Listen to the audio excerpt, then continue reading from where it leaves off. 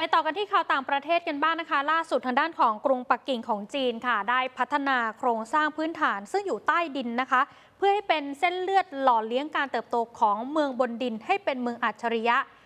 ที่บอกนี้นะคะ ไม่ใช่นิยายวิทยาศาสตร์ค่ะ แต่เป็นหุ่นยนต์ที่ทำงานเป็นผู้ตรวจสอบความมั่นคงปลอดภัย ของระบบเครือข่ายท่อใต้ดินในปักกิ่ง ไม่ว่าจะเป็นท่อน้ำท่อไฟฟ้า ท่อแก๊ส รวมถึงท่อต่างๆ ที่มีความสำคัญต่อวิถีชีวิตของชาวเมือง